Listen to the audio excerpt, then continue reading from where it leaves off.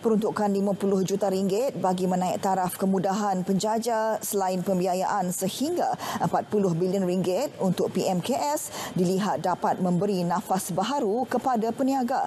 Ini secara tidak langsung merancakkan ekonomi setempat dan membantu golongan PMKS menjana pendapatan dengan lebih baik khususnya yang terkesan pasca pandemik.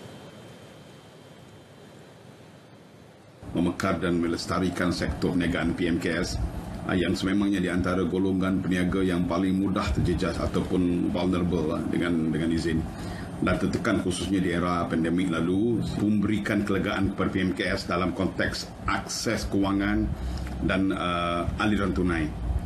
Tinggal lagi ianya perlu dimudahcarakan dalam proses pengagihan dan pengurangan birokrasi Tambah beliau, kadar cukai PMKS ke atas pendapatan bercukai bagi RM150,000 pertama dikurangkan daripada 17% kepada 15% turut membantu golongan ini memaksimumkan pendapatan dan perniagaan.